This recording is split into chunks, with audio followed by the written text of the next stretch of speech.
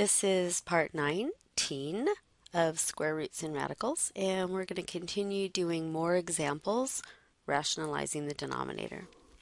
So here's an example. 8 over the 3 square roots of 2 minus 2. Well, you've got a binomial looking thing in the denominator here, so we need to multiply the numerator and denominator by the conjugate of what's in this denominator. So we want to multiply both the top and bottom by 3 square roots of 2 plus 2.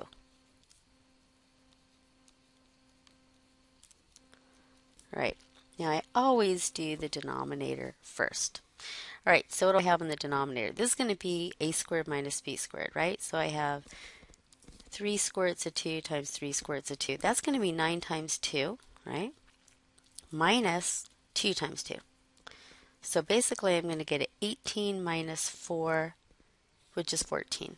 So I have 14 in the denominator. Now the reason I do the denominator first is because instead of doing the distributive property with this 8, I'm going to leave it factored because I could see I can cancel that 14 with that 8. If this was a 3, I'd go ahead and do the distributive property because it wouldn't cancel anyway. So I'm going to leave the 8 and I have times 3 square roots of 2 plus 2. And now I could cancel the 8 with the 14 because you can only cancel full factors. 2 goes into both of those numbers, 4 and 7. So the final answer is I'm going to have to do 4 times everything in there. So that gives me 12 square roots of 2, right? Because I'm doing 4 times 3 square roots of 2 plus 4 times 2 is 8 over 7. Some people leave it factored, and that isn't necessarily wrong. You could have left the numerator as 4 times 3 square roots of 2 plus 2. That's leaving the numerator factored. Um, it's a little bit more simplified sometimes to uh, go ahead and do the distributive property. All right, here's another problem. 3 plus square root of 2 over 4 minus square root of 5. So again, we have a binomial looking thing in the denominator. We'll need to multiply the numerator and denominator by the conjugate. Feel free to put this on pause and try it all on your own first. Right, so in the denominator, I need to multiply 4 plus square root of 5 so that I'll get a rational number in the denominator, but that means I need to also multiply it in the numerator. Now, in this case, in the numerator I have a 3 plus square root of 2 in the top, so you should put a parentheses around that. You're going to have to do the FOIL method for the numerator. And I'm going to go down to write my answer because this is going to be kind of a long, uh, you know, problem.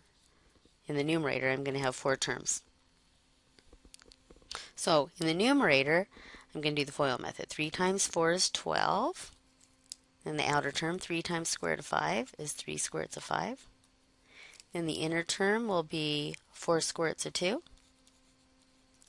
And the last term will be square root of 2 times the square root of 5, which is square root of 10. All right, what about the bottom? The bottom, I'm going to have a squared minus b squared. 4 times 4 is 16 minus square root of 5 times square root of 5 is going to be 5. So I'm going to get 11 in the denominator. So now you look at the numerator.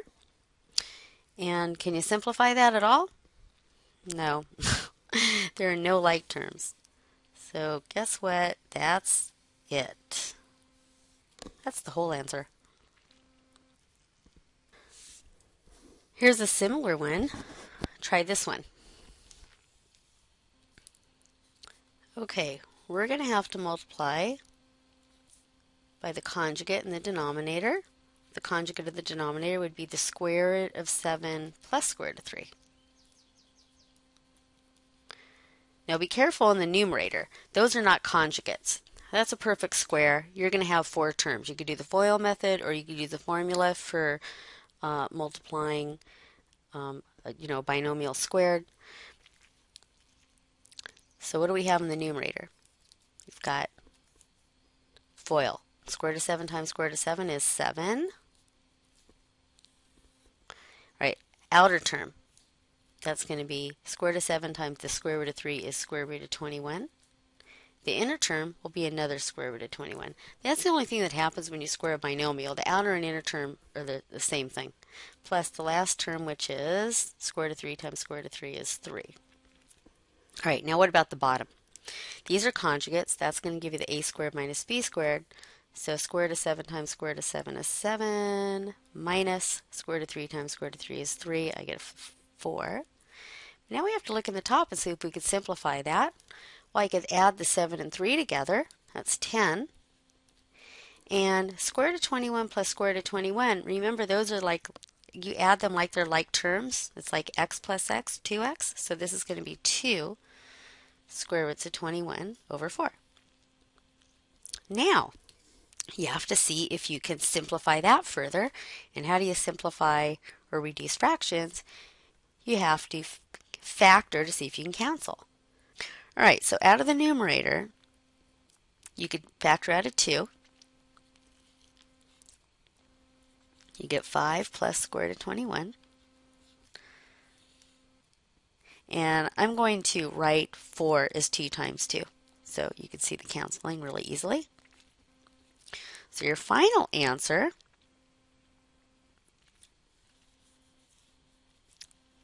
will be 5 plus square roots of 21 all over 2. You're incorporating a lot of ideas into this one problem. You're multiplying by the conjugate, you're practicing multiplying with square roots, you're adding and subtracting with square roots, you're factoring, you're canceling. Guy, it's got everything.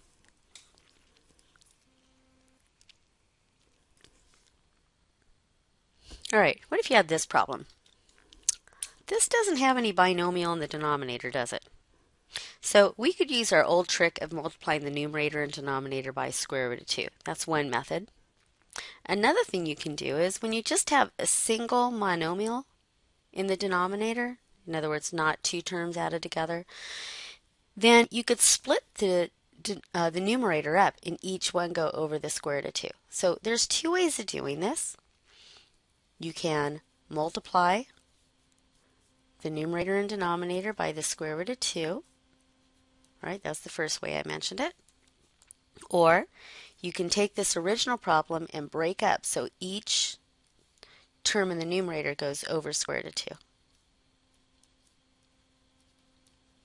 So there's two ways to start that problem. It doesn't matter which way you do it, but be careful.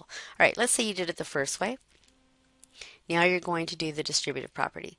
So you have 5 square roots of 2 times square root of 2. That's going to be 5 times 2 or 10 plus, right? And then you have to do the square root of 2 times 3, which is 3 square roots of 2. And in the bottom, I have square root of 2 times square root of 2 is 2. You've rationalized the denominator. So that's one way of writing the answer. All over a common denominator. All right, let's look at this second way. Well, when I write it like this, do you see how these square roots of t's cancel? So I have 5 plus 3 square roots of 2. Okay, wait, I don't want to put equal here yet. The problem is with this square root of 2, I have a square root of 2 in the denominator. So I need to multiply the numerator and denominator by square root of 2. Okay, so what do I have? My first term here will just be 5 plus, and what's the second term? I'm going to have 3 square roots of 2 in the numerator all over 2. So this is another way of writing the same answer. And look at the differences between these two. One is written with a common denominator, right? It's just one fraction all over 2. And this is if I split it up, notice you'd have 10 over 2, which is really just 5, plus square root of 3 over 2 over 2, which makes it look like this bottom one. Or if I wanted to get a common denominator from this bottom one, I would multiply the 5 times 2 over 2 and it would look like it does in the top one. So two ways of doing that same problem. This is just a little review of what happens if you just have a single term in the denominator. I didn't need to use the conjugate in this particular case. Right, so you're going to be presented with all sorts of different types of problems and it's for you to decide what you need to do to rationalize the denominator. And then you have to realize that there's also more than one way to write the correct answer in the end.